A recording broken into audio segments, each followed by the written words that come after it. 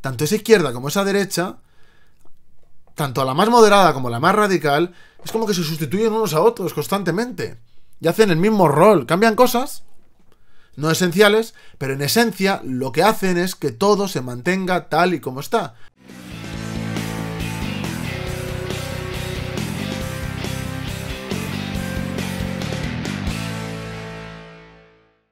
Buenas a todos, hoy vamos a hacer un vídeo bastante polémico y que se va a anticipar a otra polémica que va a haber próximamente.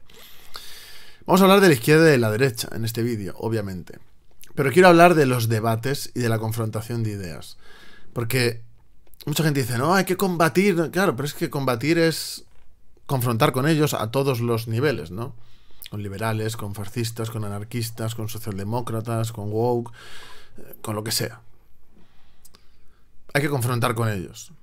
Políticamente, a todos los niveles. Pero también ideológicamente. Y hay que también confrontar en debatiendo. O sea, contraponiendo unas ideas eh, a otras. Y yo creo que es un, ejercicio eh, que yo recomendaría que hiciera todo el mundo. Enriquecedor, sin duda. Yo he aprendido mucho debatiendo con liberales. También he debatido con gente conservadora.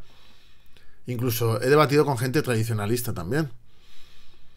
Y obviamente he traído al canal a gente que, bueno, la gente dice que son fascistas, aunque, bueno, menos quizás uno, considero que los demás no lo son ninguno. Pero no hay que tener miedo a confrontar ideas. Ya que esa izquierda o esa derecha te esté todo el rato criminalizando, señalando y aporreando, ¿no? Entonces yo, desde el canal, ya digo que voy a debatir con quien me dé la gana.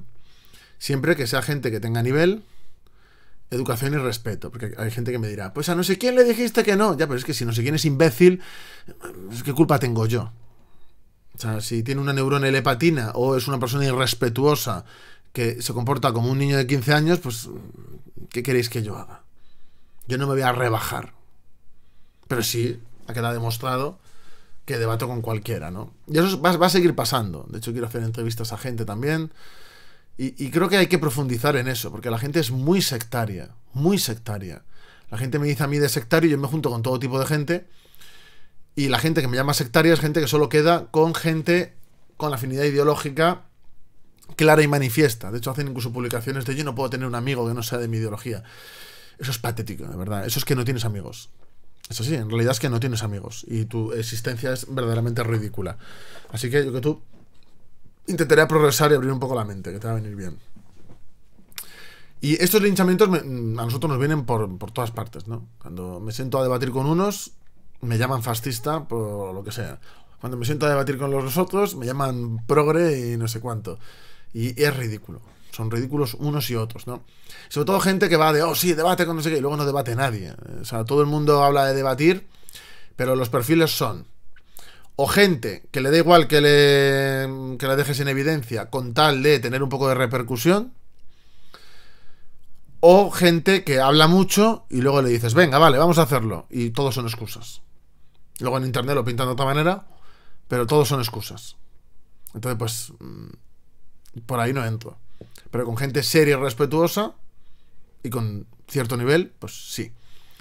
Entonces ha habido una vorágine hace poco, ¿no? Con un tema, entonces voy a dar una sorpresa dentro de poco, porque encontrado una persona eh, que considero que tiene nivel, que es respetuosa y, con la que se puede debatir.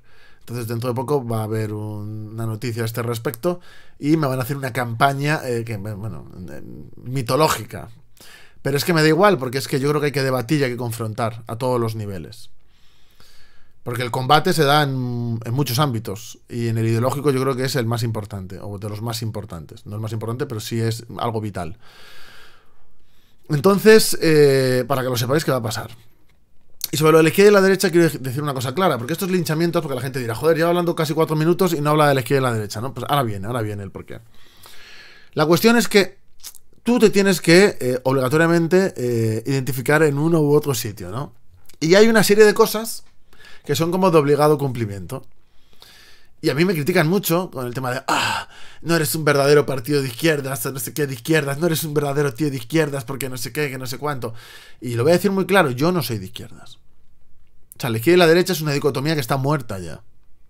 En su día, ¿no? cuando surgió en la época de la Revolución Francesa, pues tenía un significado. ese significado, ser de izquierdas o de derechas, ha ido evolucionando esa dicotomía Y no significaba lo mismo en esa época que en los años 30 aquí, que en los 70 aquí o que ahora aquí en España, ¿no? No significa lo mismo. Entonces quiero explicar un par de cosas a nivel histórico. En primer lugar, la dicotomía izquierda y derecha siempre ha sido burguesa desde su nacimiento.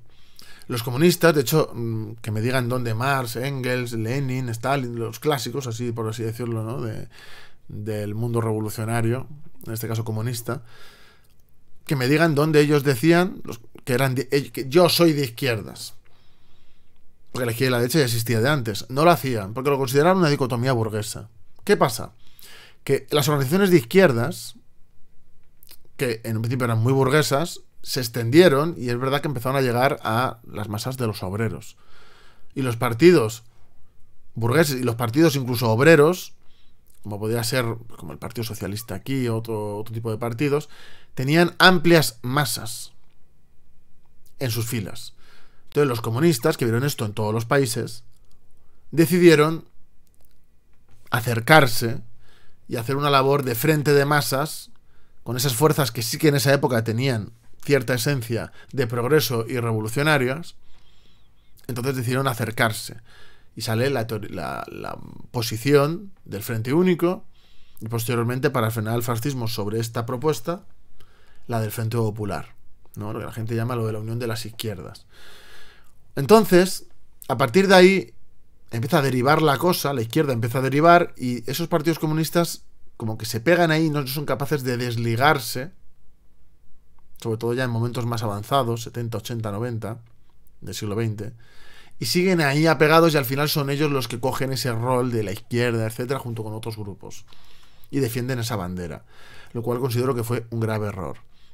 Pero la izquierda antiguamente sí defendía la clase obrera, incluso defendía la revolución, o sea, defendía la lucha de clases, una serie de cosas que ya no hace, porque ha habido una evolución. Evolución. Entonces, izquierda es profundamente reformista, profundamente sistémica, ahora con el tema woke, con el tema del posmodernismo, son lo más sistémico y lo más mainstream que hay, y se han convertido, aunque lo adornen de cosas revolucionarias, en la nueva reacción.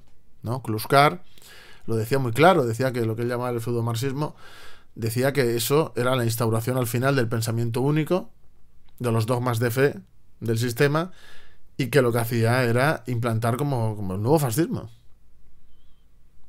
Entonces, obviamente, ¿qué tiene eh, esta gente de revolucionaria? Absolutamente nada. Yo tengo un libro que hubo un chico que vino aquí al canal. A ver dónde lo tengo. No, justo no lo tengo aquí. El de cómo reconstruir la izquierda revolucionaria en España, que es un título clickbait total. Bueno, clickbait que tú te metes y según según empiezas, yo ya digo claro que no creo en la dicotomía izquierda-derecha.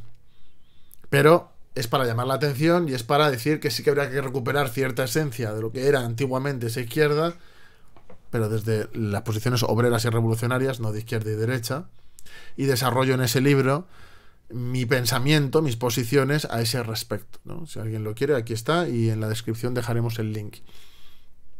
Entonces, nosotros hemos roto con eso. Hay gente que me dice, no, pero ese libro, ese libro, para empezar, no es de ahora, ahora no le pondría ni siquiera ese nombre, pero si tú lees el libro te das cuenta de que nosotros estamos en contra de esa dicotomía.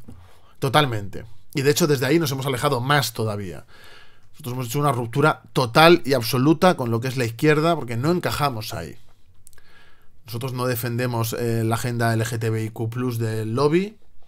Nosotros no defendemos el feminismo, lo, lo queer que va implícito, el ecologismo este capitalista eh, de echarle la culpa al consumidor y no al modelo productivo, pues exactamente igual. El tema de las parcializaciones de la lucha, que si los portavoces racializados, que si fronteras abiertas.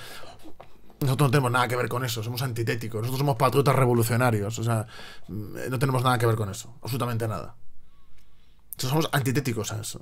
Y luego nos intentan hacer pasar por rojipardos, nazbol, fascistas y lo que ellos quieran, pero nosotros defendemos la lucha de clases no tiene ningún sentido, o sea, no encajamos con ninguno. No encajamos en esa dicotomía, ni en la izquierda ni en la derecha. Nosotros vamos aparte. Y es a lo que aspiramos, hacer algo totalmente aparte de eso.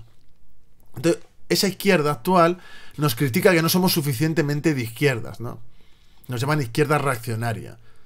Hemos visto a gente que bueno, que tienen estudios, pero que luego son, mm, a, la hora de hilar conceptos y de interpretar la realidad, son unos ineptos, unos verdaderos ineptos, de ninguna capacidad ni, ni nivel de análisis, que nos llaman la izquierda reaccionaria. Es como, mira, llámame reaccionario si quieres directamente, que no lo soy, pero no digas que soy de izquierdas, porque es que es una cosa que lo decimos hasta la saciedad. No creemos en la dicotomía izquierda y derecha ya. Eso está muerto. No, es que vosotros sois de izquierda clásica. Que, que, eso no existe. De verdad, que no existe. Estamos construyendo algo nuevo. Algo diferente. No vivimos en los años 30. No vivimos en la época de la Revolución Francesa. No vivimos en los 70. Hay que, hay que adecuarse a los tiempos en los que estamos. Hay que adaptarse. Si no estamos defendiendo dogmas vacíos. Como si fuéramos una religión. Entonces me niego, me niego en rotundo. Nosotros queremos construir algo nuevo. A todos los niveles. Tanto teórico como práctico. Queremos ir más allá. Y esa gente que le, explota la cabeza y que, les duele y que se enfadan y que les da rabietas y que nos atacan y se vuelven locos, pero lo único, que, lo único que consiguen es hacernos más fuertes. Porque nosotros, como estamos en un. Bueno, eh, superando handicaps eh, de forma constante, pues nos endurecemos. Entonces estamos hechos de otra pasta. Pero es que esa gente que nos hace eso son los que nos endurecen también. Entonces, ¿nosotros vamos a hacer debates? Sí. Y no solo yo, sino más gente nuestra. Vamos a debatir con quien nos dé la gana. Pero siempre con unas, eh, bueno, con unas condiciones, como ya he dicho antes. Y luego también que no vamos a estar bailándole el agua a nadie. Es decir, eh, yo no voy a ir a espacios de otra gente que considere que son antitéticos a mí porque mm, es hacerles un favor y no lo voy a hacer. Va a tener que ser en sitios neutrales o en nuestros sitios. Y van a ser debates. No van a ser conversaciones, ni va a ser eh, entrevistas, va a ser debate. Y es lo que voy a hacer. Y voy a debatir con todo el mundo que quiera. De, me refiero de, de corrientes ideológicas, me da igual. Me da igual. Pero creo que es una cosa que hay que fomentar. Y es que es una cosa que hay que reivindicar. De que yo debato con cualquiera. Me da igual la ideología que tenga. Mientras cumpla los requisitos que he dicho. Y esa izquierda me va a señalar y me va a criminalizar. Y la derecha cuando sea al revés también. Pero es que yo les veo igual, es decir, en lo que es el sistema, tanto esa izquierda como esa derecha, tanto a la más moderada como a la más radical, es como que se sustituyen unos a otros constantemente. Y hacen el mismo rol, cambian cosas, no esenciales, pero en esencia lo que hacen es que todo se mantenga tal y como está. Y están con los guiñoles aquí, jiji, jaja, y como haciendo que se pelean, pero en realidad no se están peleando en realidad están manteniendo la hegemonía de lo que ya hay. Entonces nosotros tenemos que confrontar con ambas. Tenemos que confrontar con esa dicotomía. Y tenemos que construir algo nuevo. Y es lo que estamos haciendo. Y desde luego aquí en el canal, mi idea es que sea un espacio amplio de debate. Y dentro de determinadas cuestiones, pues puede venir una amplitud de gente bastante importante. También luego hay gente que, lo que quiere es eh, el trabajo que hemos hecho nosotros, como que se lo regalemos y que lo usemos de altavoz, ¿no? Eso tampoco va a pasar. Es decir, un tío que no es nadie, que no ha debatido con nadie y que no tiene interés ninguno para nosotros, pues con esa persona no vamos a debatir, pero con otra persona de sus mismas ideas, que sea de otra manera y que cumpla los requisitos que he dicho, pues sí. Pero porque nosotros no le vamos a regalar nuestro trabajo lo que nos ha costado a gente que no vale nada. Eso no tiene ningún sentido tampoco yo lo quiero dejar meridianamente claro. Así que bueno, se avecinan tiempos convulsos en ese sentido, pero el planteamiento que yo tengo para el canal y en general es que hay que confrontar las ideas. Creo que es algo importante, ¿no? Y es una cosa que voy a seguir haciendo y que lo quiero dejar muy claro.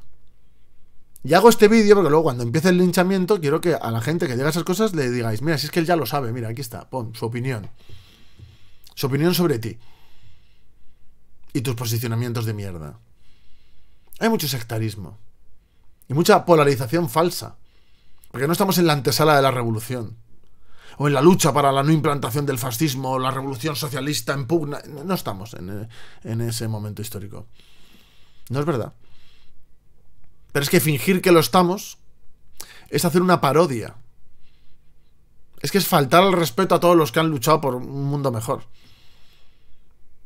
Porque están haciendo una parodia para mantener lo que hay.